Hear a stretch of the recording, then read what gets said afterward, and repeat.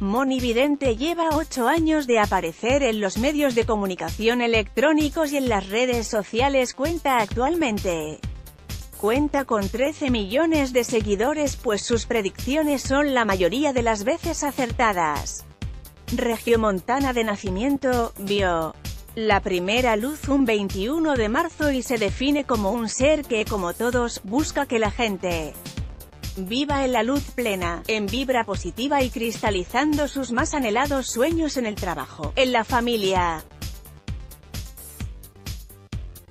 en la salud, en el amor y con el dinero.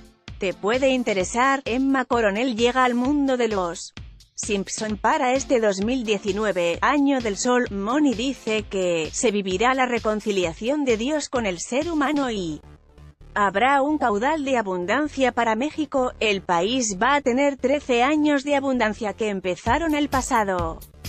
13 de noviembre, declaró también auguró que en México habrá una nueva aparición de la Virgen de Guadalupe y que las personas nacidas en los meses de marzo, junio y octubre serán los más bendecidos en el año. Mira el video. Completo aquí Moni estrena La Revelación, Moni Vidente lanza comercialmente el libro La Revelación el 21 de marzo próximo bajo el sello Porrúa, con el que debuta como escritora, en él hará revelaciones en torno al misterio de Dios en mi libro escribo. Cuando se acaba la tierra y qué va a pasar después de este hecho, daré cosas nuevas en torno al ser humano desarrollándose en una comunión con Dios y la Virgen María. Para México y para Moni Vidente el 2019. Va a ser un año glorioso en todos los sentidos. Moni explicó que el clima se transformará, que habrá mucho calor.